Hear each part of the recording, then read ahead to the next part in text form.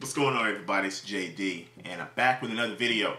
Today is actually going to be a you know response video to my man Optimus P517 and he asks if you had to pinpoint it and narrow it down to just one pair of shoes, what's the one that actually got it started for you? What got you into collecting or as my man Jumpman Bostic would say, what started your addiction?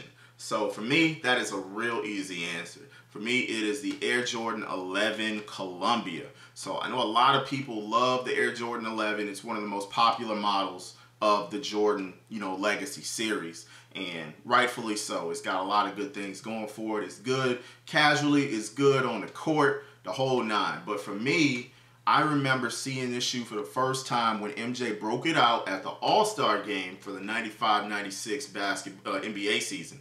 So I saw it.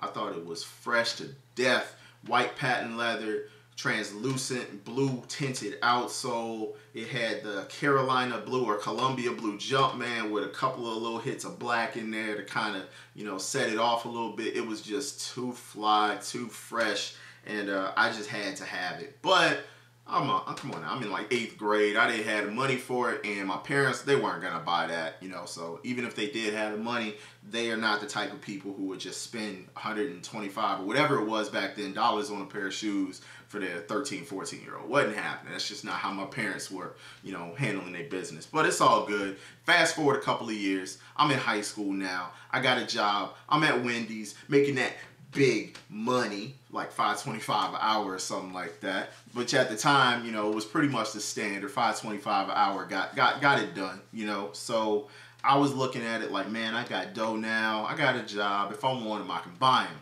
But then I thought about it. I'm like, man, I can't buy these joints. I played baseball pretty much year round. In high school and in college, I was a competitive ball player. I played baseball all over the country, AAU, played in all these kinds of tournaments and all that good stuff. So all my money was tied up with baseball. You know what I'm saying? So $200 here for a bat, you know, you know, $300 here for a mitt, this tournament entry fee, this camp has a fee, and every time I went through batting gloves, those were like another $30, sliding pants, you know, cleats, you get the picture. All my money was tied up in baseball. So I was a little, you know, disappointed because I wasn't to be able to get the shoes I wanted. And my girlfriend at the time, she knew that. She knew I was really into Jordans and I never had a pair, always wanted a pair. So she was gracious enough to go out without me knowing. She found a pair. She bought them because she had a job at the time too and she hooked me up. She gave me my pair for our anniversary. So we did the, you know, cute high school matching outfits, matching shoes, pretty much from top to bottom. We wore the exact same fit.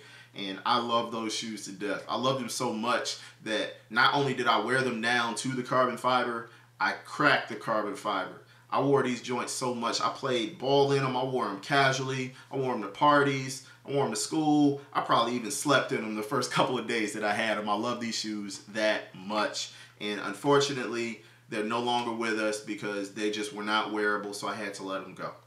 In retrospect, I probably should have held on to them and kept them just for sentimental reasons, but I didn't. You know, hindsight's 2020. I was like 18, so I wasn't really thinking like, yeah, I might want this years down the line.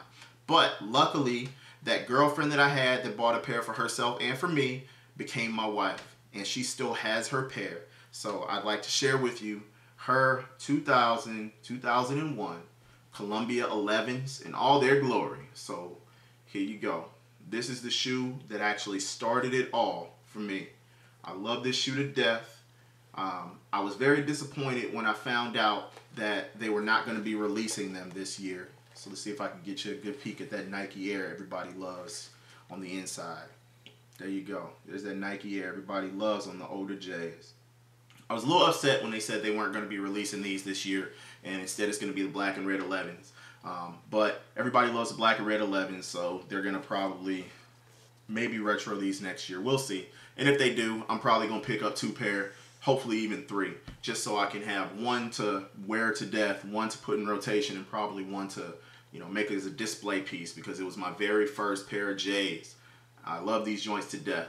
Um, as for my wife's pair, she can't really wear them anymore because they don't fit her anymore. These are from high school. She wears a size 6. These are a size 5. So she's still trying to figure out what she's going to do with these. Every now and again, she squeezes into them, um, but she says they're too painful to wear. So we'll figure something out. Probably make them a display piece or something like that. So I wanted to share that with you, the Columbia 11. That's all I got. Be sure to check out my man Optimus P517's channel. Real cool cat. Has a lot of fire in his collection and pretty cool dude just to chat with. So I'll put a link right here. You can just click that right there and it'll take you straight to his channel. As for me, make sure you hit that subscribe button. It's somewhere around here. Maybe over here. I don't know, but I think it's right here. Make sure you follow me on Twitter at nuke underscore mechanic. And that's all I got. Peace.